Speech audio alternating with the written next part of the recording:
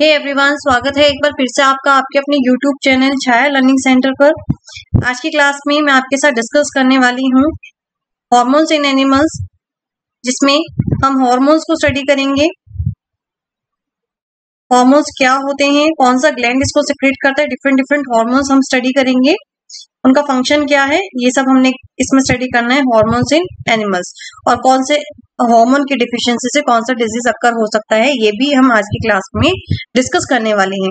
लेकिन उससे पहले जल्दी से एक छोटा सा रिकेप कर लेते हैं कि हमने लास्ट लेक्चर में क्या डिस्कस किया था. तो लास्ट लेक्चर में हमने डिस्कस किया है कोऑर्डिनेशन इन प्लांट्स जिसमें हमने इसकी मूवमेंट्स को स्टडी किया. दो तरह की मूवमेंट्स हमने डिस्कस की tropic movement and nastic movement then we discuss types of tropic movement and nastic movement types में हमने डिस्कस किए थे फोटोट्रोपिज्म कीमोट्रोपिज्म थिग्मोट्रोपिज्म हाइड्रोट्रोपिज्म ये सारे टाइप्स हमने किसके अंदर स्टडी किए हैं? ट्रॉपिक मूवमेंट्स के अंदर स्टडी कर चुके हैं। देन इसी तरह से हमने नास्टिक मूवमेंट के भी टाइप स्टडी किए थे। एक बार मैं आपको फिर से दिखा देती हूँ कि हमने लास्ट लेक्चर में क्या क्या डिस्कस किया है। तो सबसे पहले हमने जाना कोऑर्डिनेशन कैसे होता है कौन से हॉर्मोन्स के थ्रू होता है, ये प्लांट हॉर्मोन्स के थ्रू होता है, फिर हमने चार तरह के हॉर्मोन्स पे डिस्कस किए थे, इनको हम फाइटो हॉर्मोन्स भी बोलते हैं। Then we discuss movement in plants की प्लांट्स में जो मूवमेंट है वो कैसे होती है प्लांट किस तरह से मूवमेंट करते हैं।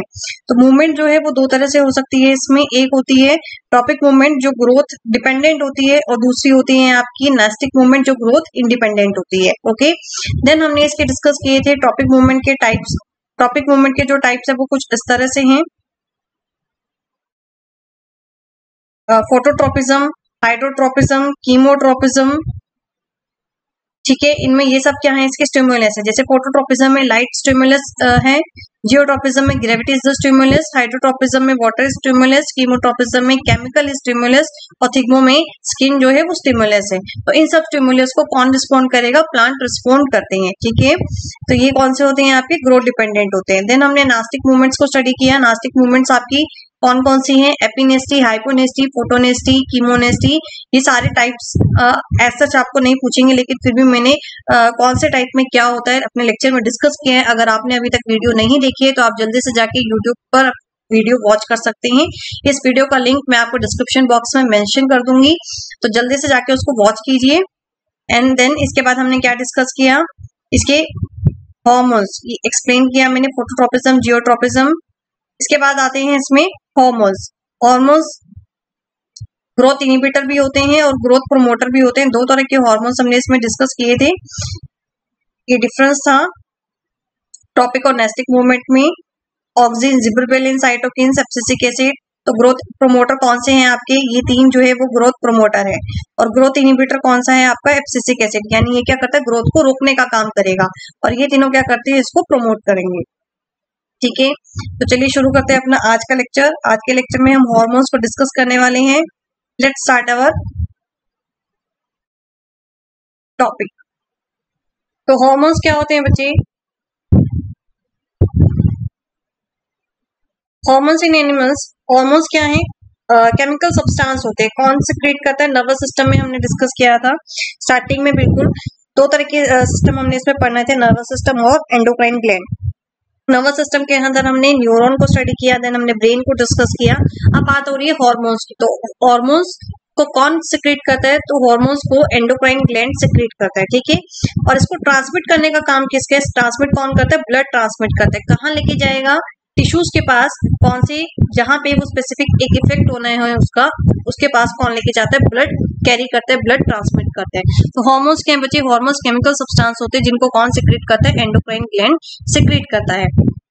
ओके इसके बाद यहाँ पे आपको डायग्राम में मेल और फीमेल में आपको यहाँ पे शो किए गए हैं डिफरेंट काइंड ऑफ़ ग्लैंड जैसे कि दिस इज़ जो हाइपोथैमलस ग्लैंड जो आपकी हंगर कंट्रोल करता है। Pineal gland pituitary gland master gland इसको हम बोलते हैं thyroid gland thymus pancreas adrenal adrenal testis ये है मेल बॉडी और फीमेल में सारे फ़ंक्शन सेम है, सिर्फ़ आपके जो सेक्स हार्मोन्स है वो चेंज हो जाते हैं। मेल में टेस्टिस सेक्स हार्मोन्स जनरेट करती है और फीमेल में ओवरीज जनरेट करती है। ओके सिक्रेट करती है सॉरी अब हमने क्या करना है? इन सभी ग्लैंड के बारे में हमने डिस्कस करना है कि ये जो ग्लैंड हम यहाँ पे देख रहे हैं, ये कौन सा हार्मोन सिक्रेट करता है और इनका फ़ंक्शन क्या है? बहुत इंपॉर्टेंट है एग्ज़ाम पॉइंट ऑफ़ व्यू से आपसे ज़रूर यहाँ से क्वेश्चन पूछा जाएगा। तो चलिए, जल्दी से इसको डिस्कस करते हैं।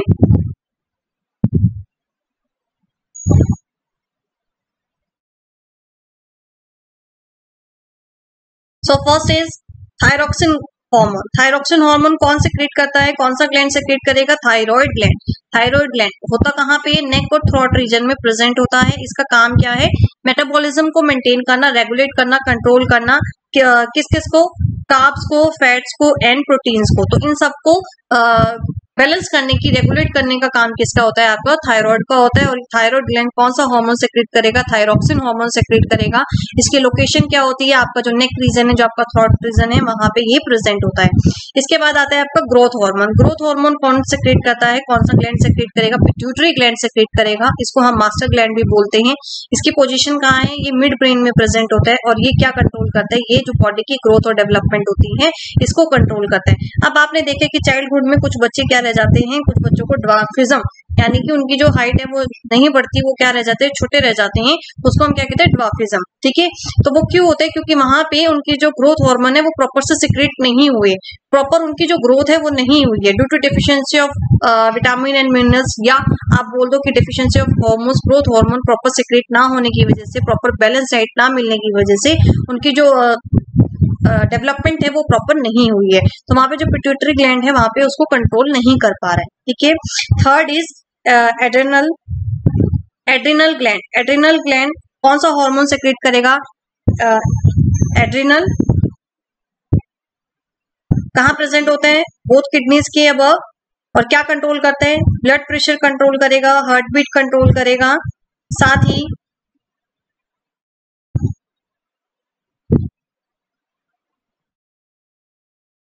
मेटाबॉलिज्म इमरजी सिचुएशंस के अंदर किसको रेगुलेट करता है काप्स को रेगुलेट करता है, ठीक है? तो ये किसका फ़ंक्शन है आपका? एड्रीनलन का कहा, कौन सेक्रेट करता है? एड्रीनल सेक्रेट करता है and it is present above the kidneys इसके बाद आता है इंसुलिन इंसुलिन कौन सेक्रेट करता है? तो इंसुलिन कौन से ग्लैंड सेक्रेट करेगी? पेनक्रिया सेक्रेट करती है. कहाँ प्रेजेंट होती है? पेनक्रियास कहाँ प्रेजेंट है बच्चे, बिलो स्टमक प्रेजेंट है। क्या करती है? शुगर लेवल को रेगुलेट करती है। कम है तो थोड़ा ब्लड में शुगर लेवल को बढ़ाएगी और अगर ज़्यादा है तो उसको कंट्रोल करती है, ठीक है? तो इंसुलिन कौन से क्रिएट करती है? पेनक्रिया से क्रिएट करेगी। कहाँ प्रेजेंट है? बिलो स्टमक प्रेजेंट है और काम क्या है? शुगर लेवल को कंट्रोल करना, कम या ज़्यादा करना, ठीक है? इसके बाद आते हैं आपके sex hormones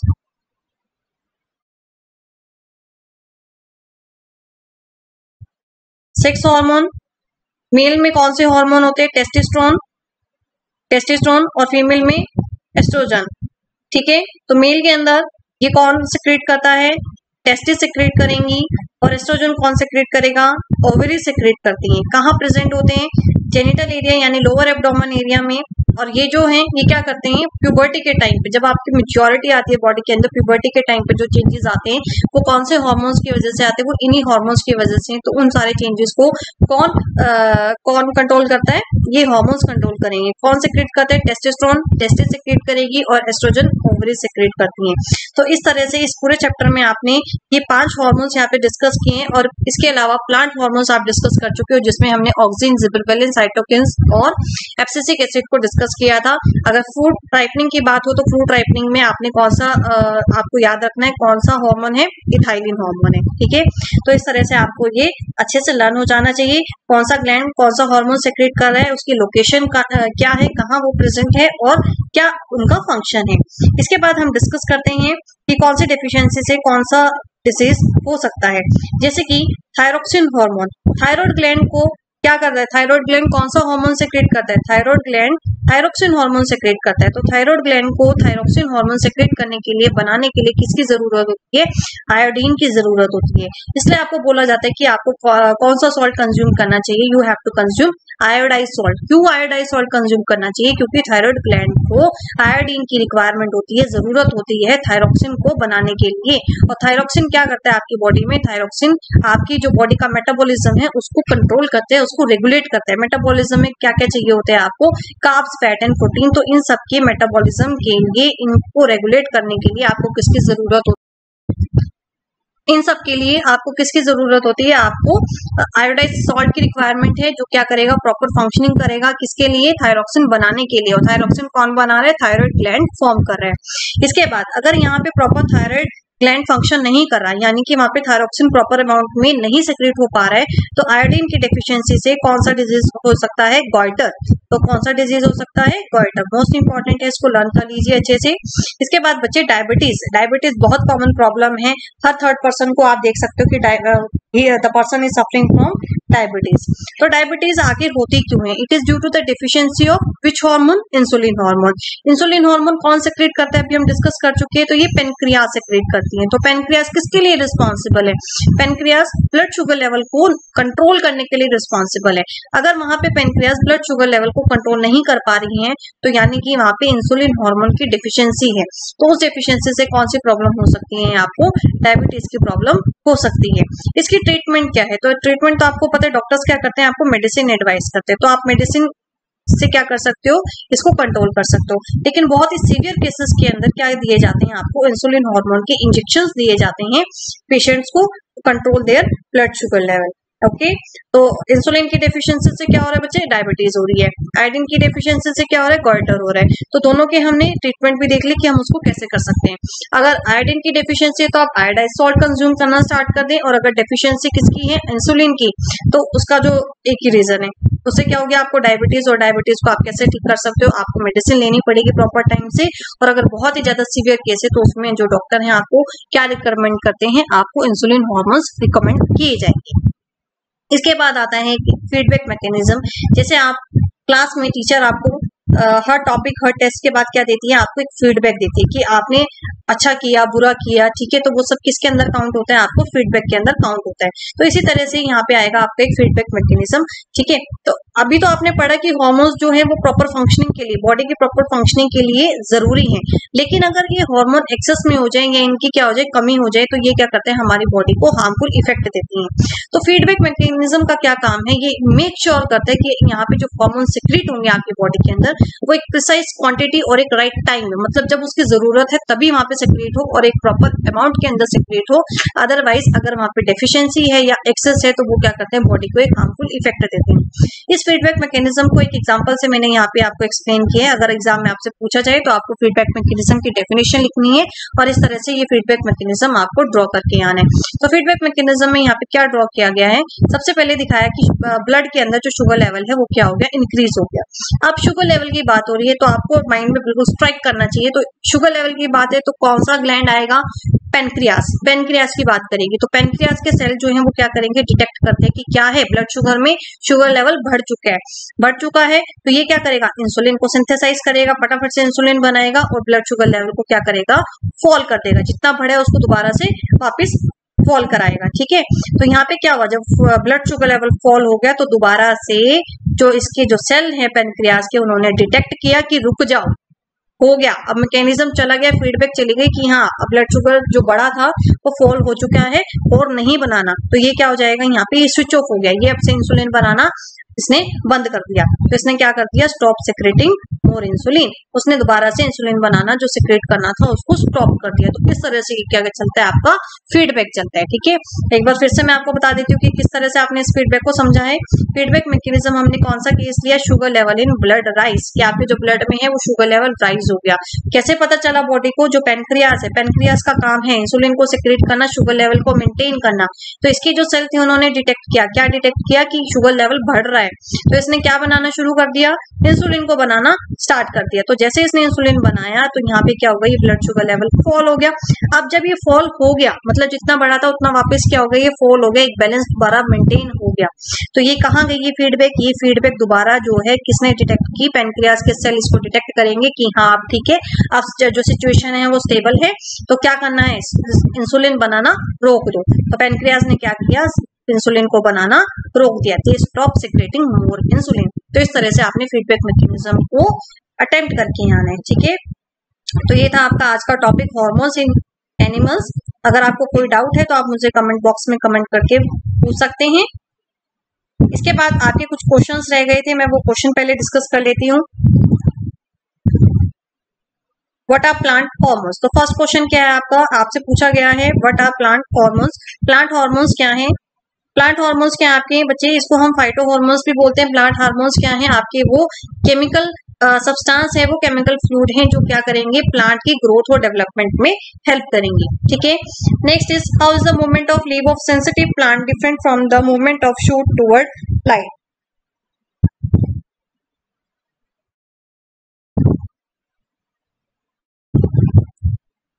So, next question is movement of leave of sensitive plant is different from the movement of shoot towards the light अब यहाँ पे क्या हो रही है? मूवमेंट टूवर्ड द लाइट ये तो होगी फोटोट्रोपिज्म की। यहाँ पे जो शूट है, जो स्टेम है, वो किसकी तरफ़ मूव करेगी? लाइट की तरफ़ मूव करती है। सेंसिटिव प्लांट्स कौन से होते हैं? जैसे कि आपका टच मी नॉट प्लांट है, जिसको मिमोसा प्लांट भी बोलते हैं। तो इस तरह से ये लीव है अगर मिमोसा प्लांट की। आप उसको यहाँ से टच करो, ठीक है? यहाँ से स्टिमुलस मिलेगा तब भी ये फोल्ड हो जाएँगी। यहाँ से स्टिमुलस मिलेगा तब भी ये फोल्ड हो जाएँगी, ठीक है? तो ये कौन सी मूवमेंट शो करते हैं? ये सिस्मोनेस्टिक मूवमेंट शो करते हैं। तो सेंसिटिव प्लांट आपको कौन सी मूवमेंट शो करेंगे? सिस्मोनेस्टिक मूवमेंट शो करते हैं। लेकिन यहाँ पे जो ये मूवमेंट ऑफ़ शूट है, ये कौन सी मूवमेंट है? ये आपकी टॉपिक मूवमेंट है। और टॉपिक मूवमेंट में यहाँ पे स्टिमुलस क्या है? आपका लाइट है तो कौन सी फोटोट्रोपिज्म है, ठीक है? तो इस तरह से आपने इसको अटेम्प्ट करना है। Next is give an of plant hormone that promotes a growth आपको प्लांट हार्मोन तीन तरह के आप पढ़ चुके हैं जो ग्रोथ को प्रमोट करते हैं growth promoter auxin gibberellin and third one is cytokinins ठीक है? तो आपने इसमें क्या लिखना है? एक एग्जांपल देना है तो आप यहाँ पे ऑक्सीजन को मेंशन कर सकते हो। Next is how do auxin promote the growth of tendril around the support auxin जो है किस तरह से टेंड्रिल uh, के जो अराउंड है सपोर्ट करता है किसको? ग्रोथ को। पहले मैं यहाँ पे आपको एक डायग्राम दिखाती हूँ उसके बाद में आपको एक क्वेश्चन एक्सप्लेन करती हूँ। तो ये डायग्राम आप इसको ध्यान से देखिए यहाँ पे। ये डायग्राम एक आपको यहाँ पे मैंने शो किया है। तो यहाँ पे ये जो टेंड्रिल है, ये जो कॉयल आपको दिखाई दे रहे हैं, ये इस तरह से कल ये क्या है बच्चे आपके? ये यहाँ पे, ये इसको ये सपोर्ट मिला तो ये इस तरह से, ये यहाँ पे क्लेम हो गई है, ठीक है? तो इसको हम क्या बोलते हैं? इसको हम यहाँ पे टेंड्रिल बोलते हैं। ये क्या है? स्टेम टेंड्रिल अब आपसे पूछे कि यहाँ पे इसके अराउंड ये जो पार्ट है और यहाँ पे जो ऑक्सीजन है वो किस तरह से सपोर्ट करता है इसमें ग्रोथ में? टेंड्रिल के अराउंड किस तरह से ऑक्सीजन हेल्प करेगा ग्रोथ के अंदर? तो ऑक्सीजन आपको पता है ऑक्सीजन कहाँ प्रेजेंट होता है? ऑक्सीजन कहाँ प्रेजेंट होता है बच्चे? शूट की टिप पे। अगर मैं बात करूँ शूट की तो ये अगर मैं मानू ये शूट है तो यहाँ पे क्या है? यहाँ पे सारे में आपके ऑक्सीजन हार्मोन प्रेजेंट है, जो क्या हेल्प करते हैं? स्टेम की एलोंगेशन में हेल्प करेंगे आपको, ठीक है? तो क्या कहते हैं, यहाँ पे ये जो टेंड्रिल है तो जैसे ही यहाँ पे जो टेंड्रिल है, इसने कल करना शुरू हुआ, यहाँ पे जो कल हुए हैं तो यहाँ पे ऑक्सीजन नहीं रहता। ऑक्सीजन कहाँ चला जाता है? इससे अवे जो लीव का पार्ट है, जो प्लांट का दूसरा पार्ट है, वहाँ पे मूव करना स्टार्ट कर देता है और उस पार्ट को ग्रोथ करने में हेल्प करेगा। ठीक है? तो ये था आपका डायग्राम अब मैं आपको बता देती हूँ कि आपने इसको अटेम्प्ट किस तरह से करना है, आपने इसको लिखना कैसे है। तो कैसे लिखोगे आप इसको? तो ऑक्सीजन क्या करती है बेटा? ऑक्सीजन की कंसेंट्रेशन इंक्रीज होती है। किस पार्ट में? जो सपोर्ट से दूर है। मतलब जैसे मैंने अभी आपको यहाँ पे दिखाया था, उससे जो दूर पार्ट है, वहाँ पे जो है ऑक्सीजन की कंसंट्रेशन ज़्यादा होगी। कौन से पार्ट में? यहाँ से ये ये जो सपोर्ट वाला पार्ट है, इसको छोड़ दो। इसके अलावा जो पार्ट है, यहाँ पे जो इसकी जो कंसंट्रेशन है, किसकी? ऑक्सीजन की ज़्यादा होगी। जिसकी वजह से सेल डिवीज़न वहाँ पे ज़्यादा होगी as compare to this supporting part तो इससे क्या होगा? इसका जो एक्सटर्नल पार्ट है, वो ज़्यादा ग्रो करेगा देन द इंटरनल पार्ट और जो टेंड्रिल है, वो क्या करेगी? कॉयल क्या करेगी? कॉयल करना स्टार्ट कर देगी। ठीक है? तो इस तरह से आपने इस क्वेश्चन को अटेम्प्ट करके आना है। Next is demonstrate an experiment to design an experiment to demonstrate hydrotropism तो ये जब मैंने आपको ट्रोपिज्म वाली टाइप्स uh, हमने किए थे वहाँ एक एग्जांपल आपको दिखाया था मैं आपको फिर से दिखा देती हूँ। आपने इसको किस तरह से अटेम्प्ट करना है हाइड्रोट्रोपिज्म के एग्ज़ाम्पल को। तो चलिए देखते हैं यहाँ पे हाइड्रोट्रोपिज्म ओके. तो ये है बेटा हाइड्रोट्रोपिज्म तो इस तरह से आपको क्या करना है, ये एक्सपेरिमेंट ये ड्रॉ करके आने दोनों बिकर इसमें आपको क्या शो किया गया है? इसमें आपको शो किया है कि अगर यहाँ पे पानी है सॉइल कैसी आपकी मॉइस्ट है तो ये जो रूट है वो कैसे मूव करेंगी? स्ट्रेट मूव करेंगी। लेकिन अगर यहाँ पे ये ड्राई सॉइल है और एक आपने एक क्ले का पोट रख दिया जिसके अंदर पानी है तो जहाँ पानी है रूट्स उसी डायरेक्शन में मूव करना स्टार्ट कर देंगी। तो ये आपने क्या करना है हाइड्रोट्रोपिज्म को इस तरह से एक्सप्लेन करके आने तो ये थे इसके कुछ क्वेश्चन तो आज के लिए इतना ही। कल फिर मिलेंगे एक नए लेक्चर के साथ।